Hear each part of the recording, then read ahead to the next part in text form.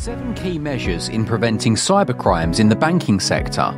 The UAE has been at the forefront of taking decisive and proactive measures to curb the prevalence of cyber attacks in the region. The strategy and success in combating the adoption of more comprehensive and streamlined laws and regulations with stricter penalties. What constitutes a cybercrime?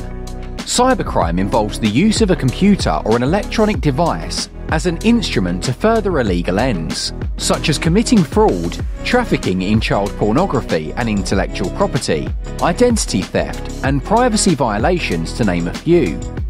It involves distributing viruses, illegally downloading files, phishing, and stealing personal information like bank account details.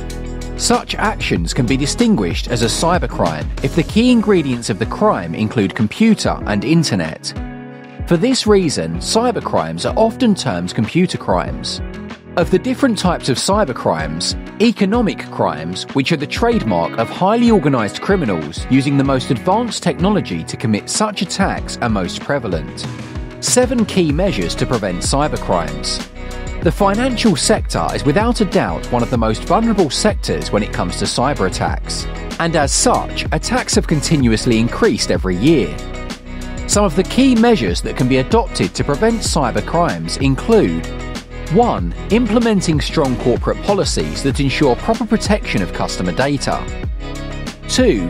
Ensuring employee safety regulations and implementing proper checks, including user account verification, user login monitoring, and password security to bring in accountability. 3. Assigning a separate user to each staff and prohibiting the exchange of secure information. 4. Prohibiting employees from downloading and implementing any unauthorized software. 5. Ensuring proper approval protocols are implemented, with at least two approval requirements for wire transfers or clearance transfers and others. 6. Increasing tech support, ensuring proper firewall protection for all devices. This would block contact from any unauthorized domains. 7. Employee training this mostly applies to the general employees of the bank, and therefore continuous training focused on improving the know-how and possible legal implications are very important. Importance of cybercrime prevention. Cybercrimes pose a threat unlike any other.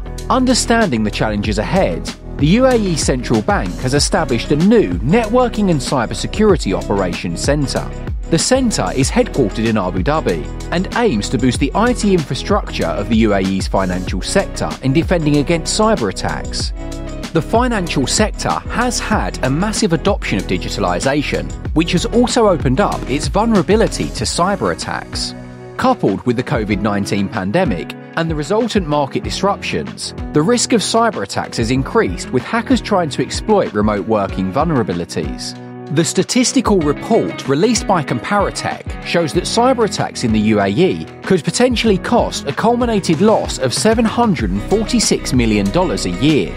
The Cybersecurity Centre aims to combat the increasing cyber attacks by establishing best practices and guidelines for managing security threats and vulnerabilities, thereby protecting the information infrastructure of the UAE's banking and financial system. For more of our latest updates, like and subscribe to this channel.